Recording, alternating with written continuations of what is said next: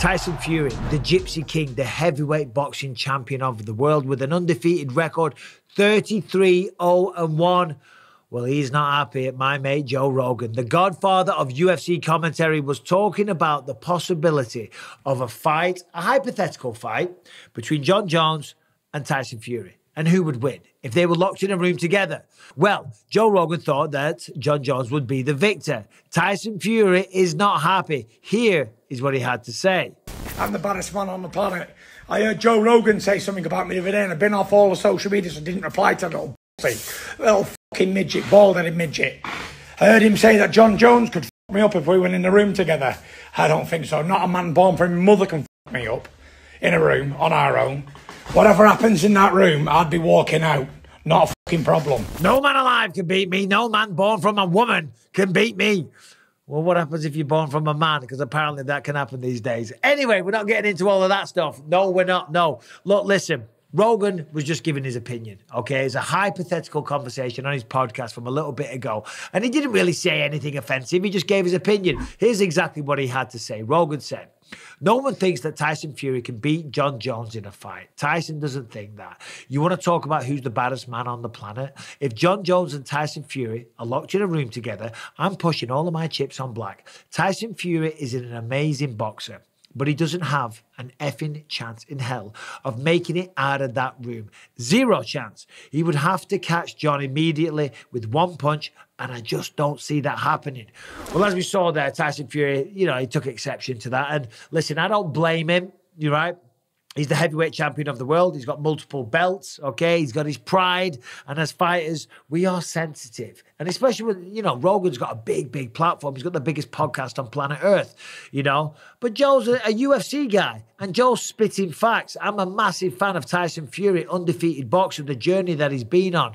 You know, when he put on all that weight and he spiraled into depression to claw back, to come back, to become champion of the world, and the fights that he's put on and some of the beatdowns and the skill that he has, the movement, the speed, the feints, everything.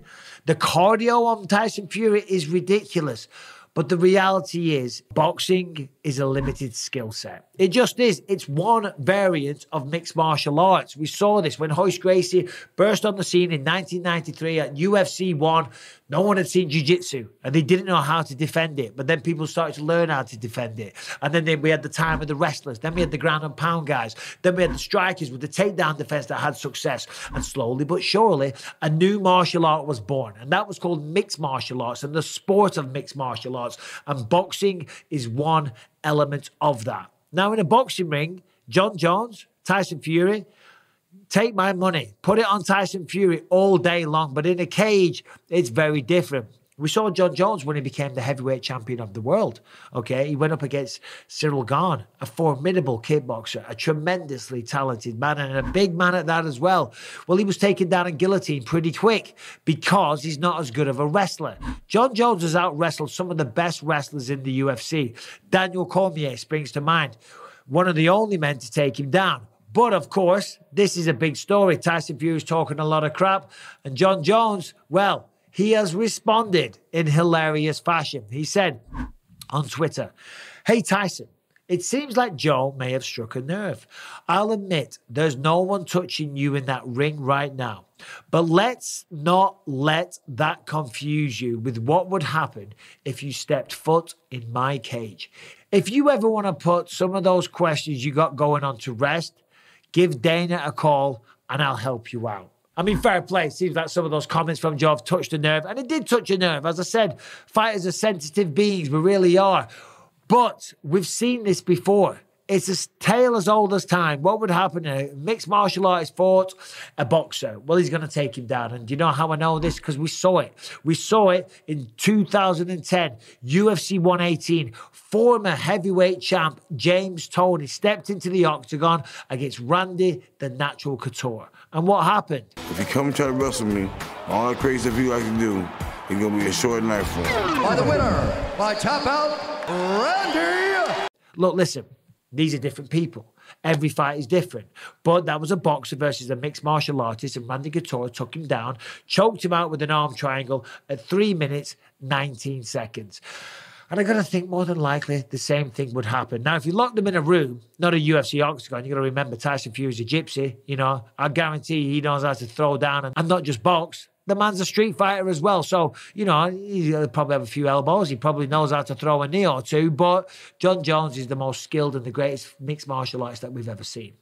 What I want to see is Tyson Fury against Alexander Usyk or against Anthony Joshua. Okay, them two have been going at each other for years. Where are you?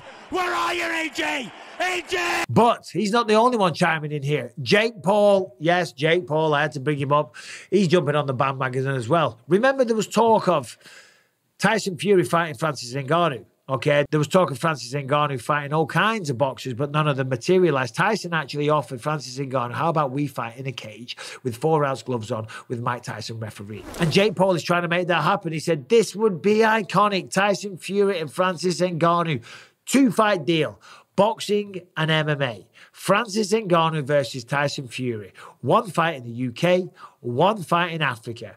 I know Francis is man enough to get into that ring. Hey, and listen, Francis is man enough to get in that ring. Would Tyson Fury risk it all and get into a UFC octagon?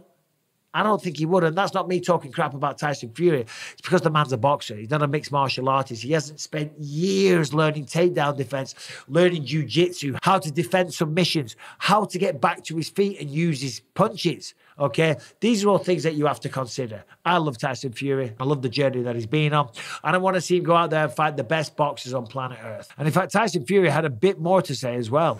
Back in the gym today, and here's my challenge.